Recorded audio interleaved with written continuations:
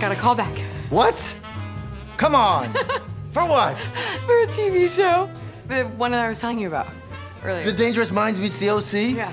Congratulations. That's really incredible. Exciting. I feel like I said negative stuff about it before. What? It's like Rebel Without a Cause, sort of. I got the bullets. Yes. You've never seen it. I've never seen it. Oh my. You know it's playing at the Rialto. Really? Yes. You should. Go, I mean, I'll, I'll, I can, I can take you. Okay. You know, for research. For research. Yeah. Yeah. Okay. Um, Monday night, 10, 10 o'clock. Yeah. Great. Okay. For research.